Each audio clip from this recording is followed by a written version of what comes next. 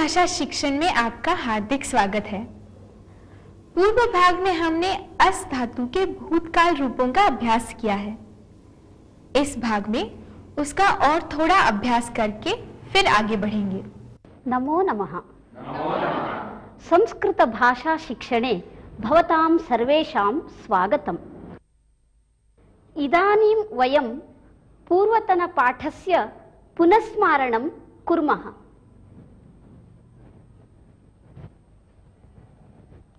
आसीत् एकवचनम्। आसन् बहुवचनम्। अहम् एकवचने वदामि भवन्तः बहुवचने परिवर्तनं कुर्वन्तु। बालकः विद्यालये आसीत्। बालकाः विद्यालये आसन्। कर्मकरः वाटिकायाम् आसीत्। कर्मकराः वाटिकायाम् आसन्। गृहिणी मन्दिरे आसीत्। गृहिण्यः मन्दिरे आसन्।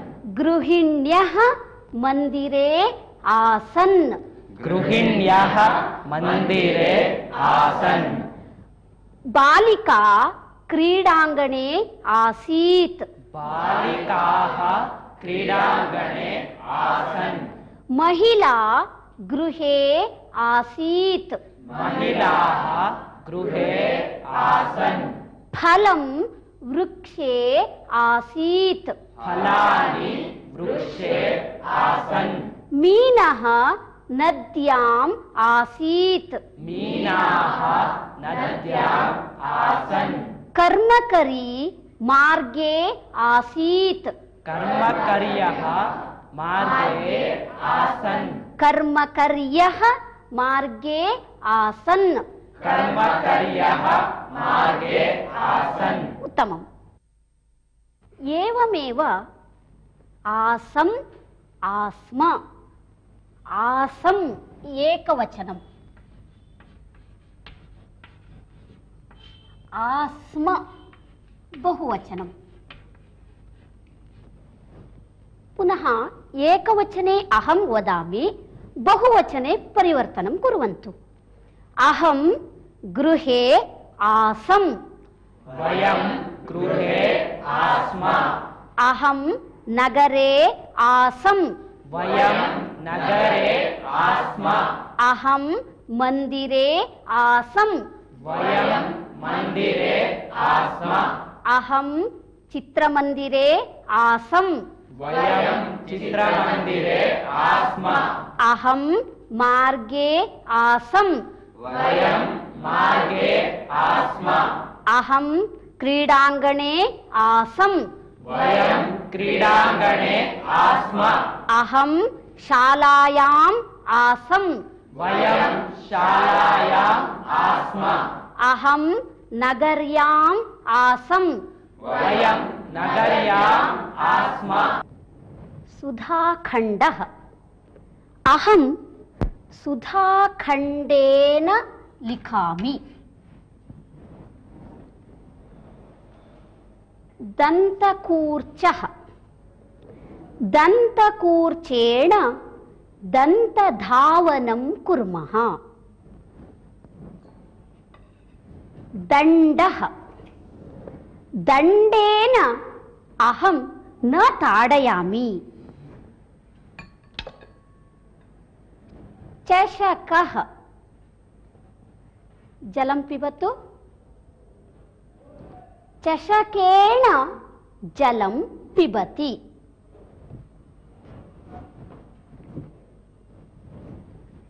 शर्करां खादतु। चमसेन शर्करां खादति। हस्तः। हस्तेन स्पर्शं करोमि। चषकः, चषकेण। चमसः, चमसेन। हस्तः, हस्तेन। सुधाखण्डः सुधाखण्डेन दण्डः दण्डेन दन्तकूर्चः दन्तकूर्चेण अब आप समझ ही गए होंगे कि यहाँ तृतीया विभक्ति का प्रयोग किया गया है। जैसे हस्तेन स्पर्शं करोमि चमसेन शर्करां खादति। इन वाक्यों में हस्तः मुखम आदि साधन है। इसीलिए उनकी तृतीया विभक्ति है। काम करने में जो साधन बनता है, उसकी तृतीया विभक्ति होती है। हस्त, चमस, सुधाखंड, दंड आदि अकारांत पुल्लिंग शब्द है। इनके तृतीया विभक्ति में हस्तेन, चमसेन, सुधाखंडेन, दंडेन ऐसे रूप बनते हैं। कङ्कतम् अहं कङ्कतेन केशप्रसादनं करोमि करवस्त्रं करवस्त्रेण मार्जनं करोमि कन्दुकं बालाः कन्दुकेन क्रीडन्ति उपनेत्रम् उपनेत्रम्। उपनेत्रेण पश्यामि।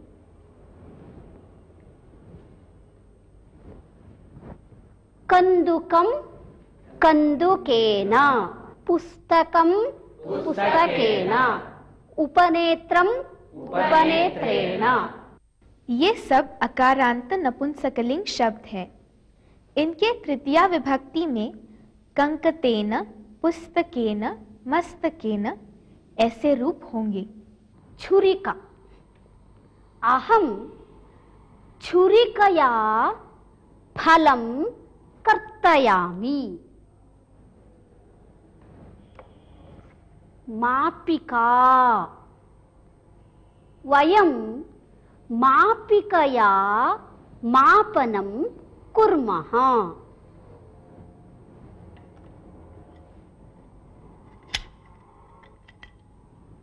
कुञ्चिका तालः अहं कुञ्चिकया तालम् उद्घाटयामि माला मालया अलङ्कारं कुर्मः कुञ्चिका कुञ्चिकया माला मालया। मापिका। मापिकया। पत्रिका। पत्रिकया। ये सब आकारांत स्त्रीलिंग शब्द हैं। इनके तृतीया विभक्ति में मापिकया, संचिकया, मालया ऐसे रूप होंगे। कर्तरी। अहम कर्तरिया कर्तयामि। अङ्कनी अङ्कन्या चित्रं लिखामः दर्वी दर्व्या परिवेषणं करोति लेखनी लेखन्या लिखामः मार्जनी। मार्जन्या मार्जयामः। द्रोणी। द्रोण्या जलं नयामः। कर्तरी कर्तर्या। अंकनी अङ्कन्या। लेखनी लेखन्या। घटी घट्या मार्जनी मार्जन्या दर्वी द्रोणी ये सब ईकारांत स्त्रीलिंग शब्द है। इनके तृतीय विभक्ति में लेखन्या अंकन्या द्रोण्या ऐसे रूप होंगे। अहम पत्रं दर्शयामि। कृष्णः कृष्णेन रामः रामेण गोविन्दः गोविन्देन। भवन्तः दृष्ट्वा वदन्तु। कृष्णः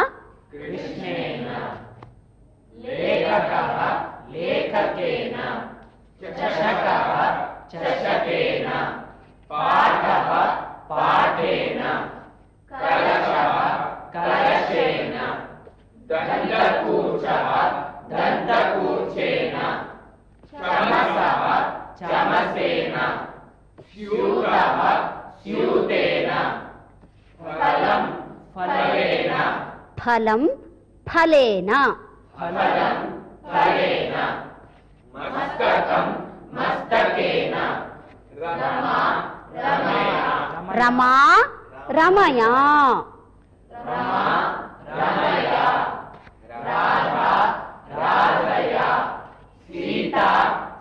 सीतया मापिका मापिकया पत्रिका पत्रिकया। सञ्चिका सञ्चिकया माला मालया।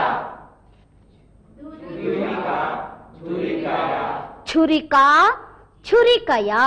छुरिका छुरिकया। पार्वती पार्वत्या। रमा रमया राधा राधया सीता सीतया मापिका मापिकया पत्रिका पत्रिकया पेटिका पेटिकया सञ्चिका सञ्चिकया माला मालया भगिनी भगिन्या द्रोणी द्रोण्या अङ्कनी अङ्कन्या लेखनी लेखन्या घटी घट्या कूपी कूप्या इदानीं वयम् एतेषां शब्दानाम् उपयोगं कृत्वा वाक्यं रचयामः। भवान् वदतु। सः लेखन्या लिखति। उत्तमम्। अहं चमसेन शर्करां खादामि। सः दन्तपूर्तेन गन्धधावनं करोति। सा कन्दुकेन क्रीडति। अहं दण्डेन न ताडयामि उत्तमम्। सीता उपनेत्रेण पश्यति। अहं हस्तेन कार्यं करोमि। शिक्षिका मार्जन्या मार्जयति अहं चषकेण जलं पिबामि। अर्चकः मालया देवम् अलङ्करोति। वयं सुधाखण्डेन लिखामः। एषा लेखन्या पत्रं लिखति। जनाः घट्या समयं जानन्ति। उत्तमम्। अहं लोकयानेन नगरं गच्छामि। बालिका द्विचक्रिकया विद्यालयं गच्छति। जनाः त्रिचक्रिकया सञ्चारं कुर्वन्ति। सचिवाः विमानेन विदेशं गच्छन्ति। बालकः नौकया गच्छति। लोकयानं लोकयानेन द्विचक्रिका द्विचक्रिकया त्रिचक्रिका त्रिचक्रिकया विमानं विमानेन नौका नौकया इदानीं भवन्तः कथं गच्छन्ति वदतु अहं लोकयानेन गच्छामि उत्तमं भवती वदतु अहं लोकयानेन विद्यालयं गच्छामि हा, भवान् किं करोति? अहं त्रिचक्रया गच्छामि। त्रिचक्रिकया गच्छामि। त्रिचक्रिकया गच्छामि। हा, भवान्। उत्तमं। भवती? अहं विमानेन दिल्लीनगरं गच्छामि। उत्तमम्। अहं नौकया देशान्तरं गच्छामि। उत्तमम्। अहं द्विचक्रयानेन शालां गच्छामि। द्विचक्रिकया? अहं द्विचक्रिकया शालां गच्छामि। अब आप समझ गए होंगे कि जब हम किसी वाहन से प्रयाण करेंगे तो उसे बताने के लिए तृतीया विभक्ति का प्रयोग करेंगे। इदानीं वयम् अन्यमेकम् अभ्यासं कुर्मः।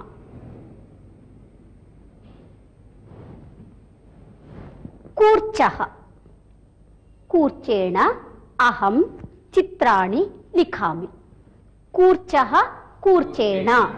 वदन्ति वा इदानीं कूर्चः कूर्चेण अहं चित्राणि लिखामि कुञ्चिका कुञ्चिकया अहं तालम् उद्घाटयामि उट्टङ्कनयन्त्रम् उट्टङ्कनयन्त्रेण अहम् उट्टङ्कनं करोमि कर्तरी कर्तर्या अहं कागदं कर्तयामि विमानम्। विमानेन अहं सञ्चारं करोमि। स्यूतः।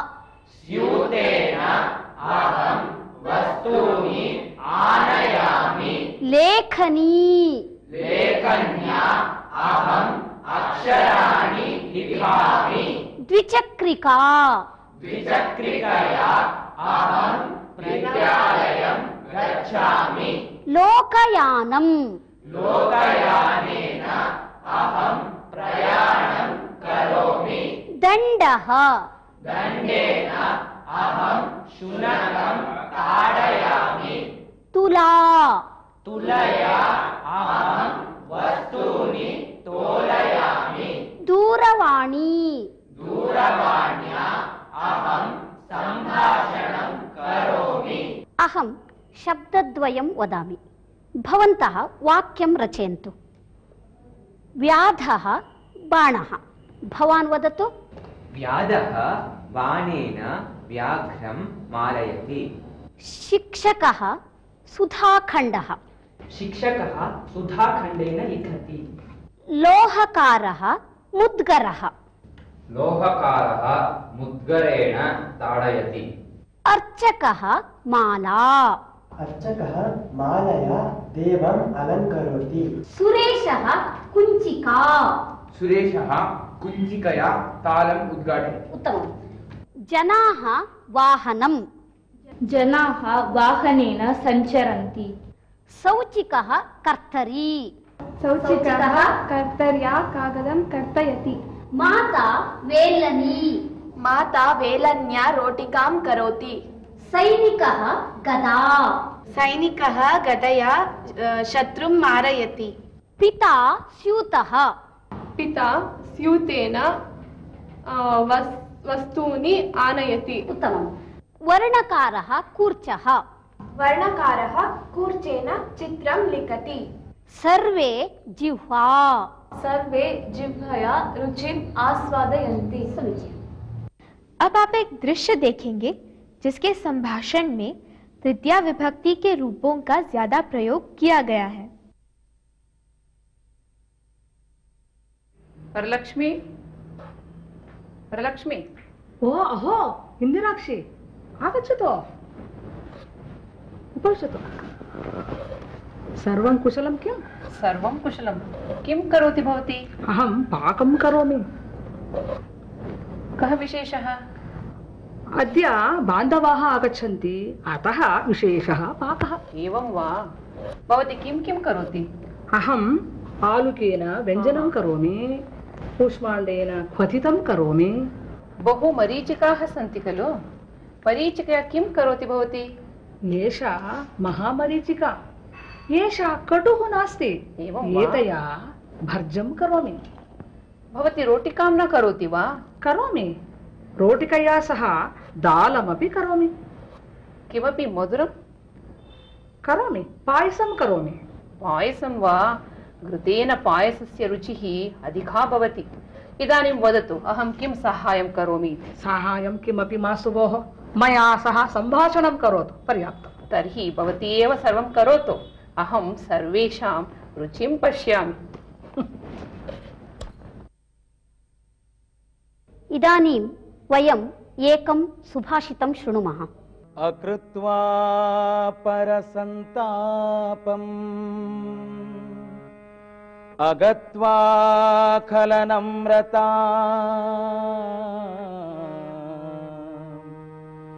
अकृत्वा परसन्तापम्। अगत्वाखलनम्रता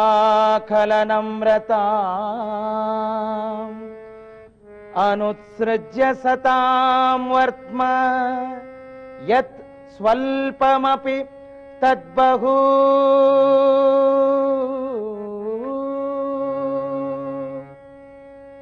यत् स्वल्पमपि तद्बहु।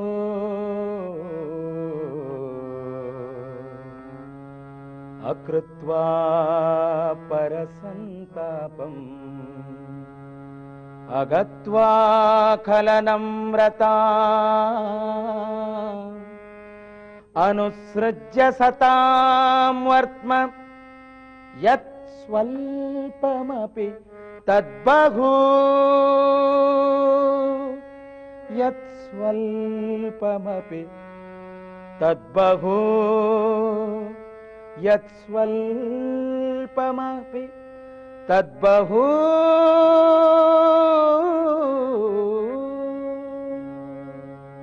इदानीं यत् सुभाषितं श्रुतवन्तः, तस्य सुभाषितस्य अर्थः एवमस्ति। जीवने सज्जनैः कथं व्यवहर्तव्यम् इति एतस्मिन् सुभाषिते उक्तमस्ति। यदि एतत् सर्वमपि अकृत्वा जीवने अत्यधिकं सम्पादयति चेदपि, तस्य मूल्यमेव न भवति। इस सुभाषित का अर्थ यह है कि दूसरों को कष्ट दिए बिना, दुष्टों के आगे अपने आप को झुकाए बिना और महापुरुषों के बताए गए मार्ग का परित्याग किए बिना यदि कम ही अर्जित हो तो वह भी बहुत है। अहम् इदानीम् एकां कथां वदामि। भवन्तः सर्वे सावधानेन पूर्वं कलिङ्गदेशम् अशोकमहाराजः पालयति स्म। एकदा सः मन्त्रिणा सह विहारार्थं बहिर्गतवान् आसीत् तत्र मार्गे कञ्चित् बौद्धभिक्षुं सः दृष्टवान्। सः भिक्षोः समीपं गतवान्। भक्त्या तस्य पादारविन्दयोः शिरः स्थापयित्वा नमस्कारं कृतवान्। भिक्षुः आशीर्वादं कृतवान्। परन्तु एतत् सर्वमपि तस्य मन्त्री आश्चर्येण पश्यन् आसीत्। एतद् तस्मै न अरोचत। सः महाराजं पृष्टवान्। भोः महाराजा, भवान् एतस्य राज्यस्य चक्रवर्ती अस्ति। भवान् किमर्थं तस्य पादारविन्दयोः शिरः स्थापितवान् इति। तदा महाराजः किमपि न उक्तवान्, मौनं हसितवान्। कानिचन दिनानि अतीतानि। एकदा अशोकः मन्त्रिणम् उक्तवान्। भोः मन्त्रिन्, भवान् इदानीमेव गत्वा एकस्य अजस्य, एकस्य व्याघ्रस्य, एकस्य मनुष्यस्य शिरः आनयतु। तदा मन्त्री अरण्यं गतवान्, एकस्य व्याघ्रस्य शिरः आनीतवान्, मांसापणं गतवान्, तत्र एकस्य अजस्य शिरः आनीतवान् तथा एव श्मशानं गतवान् तत्र एकः मनुष्यः मृतः आसीत् तस्य शिरः अपि आनीतवान् महाराजाय दत्तवान्। महाराजः उक्तवान् भोः एतत् सर्वमपि भवान् नीत्वा विक्रीय आगच्छतु। मन्त्री विपणिं गतवान् तत्र कश्चन मांसभक्षकः अजस्य शिरः क्रीतवान्। अन्यः कश्चन अलङ्कारप्रियः व्याघ्रस्य शिरः क्रीतवान्, परन्तु मनुष्यस्य शिरः कोऽपि न क्रीतवान्। अनन्तरं मन्त्री निराशया महाराजस्य समीपम् आगत्य निवेदितवान्। महाराजः उक्तवान्, भवतु, भवान् एतद् शिरः दानरूपेण ददातु इति। पुनः मन्त्री विपणिं गतवान्। तत्र सर्वान् उक्तवान् भोः एतद् शिरः दानरूपेण ददामि स्वीकुर्वन्तु स्वीकुर्वन्तु इति। परन्तु कोऽपि न स्वीकृतवान्। मन्त्री आगत्य महाराजं सर्वं निवेदितवान्। महाराजः उक्तवान् इदानीं ज्ञातवान् खलु। यावत् जीवामः तावदेव मनुष्यस्य शरीरस्य महत्त्वं भवति। जीवाभावे मनुष्यशरीरं व्यर्थं भवति तदा शिरसः अपि महत्त्वं न भवति।